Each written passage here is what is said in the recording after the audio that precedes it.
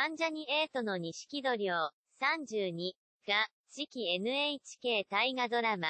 西郷どん、1月7日スタート、総合、日曜、58-00、せ大河ドラマ初出演することになり3日、都内での出演者発表会に登場した大河初出演に錦戸は、ジャニーズのオーディションを受けて、今年で20年くらい経つ20年やって、やっとこういう本格的な時代劇に出られる20年かかったな。と思う、と感激の思いを語った演じるのは主人公、西郷吉之助、高森の弟で西郷家の三男、西郷嗣道、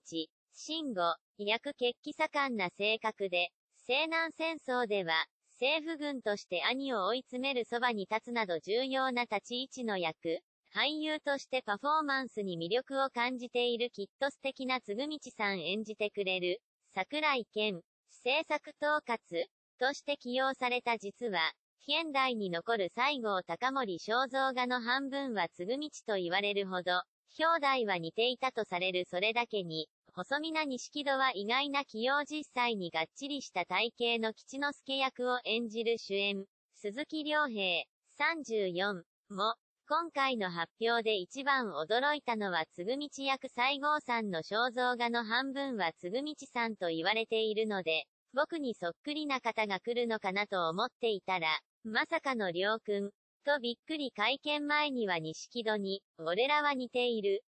と語りかけたほど鈴木は役作りのために体を大きくしたが、さすがに錦戸が体重を増やすことはないようで、やっていけば似ていくと思う兄弟ですが敵対するいろんな理由があるのでしょうが、良い感じにできたらいいな。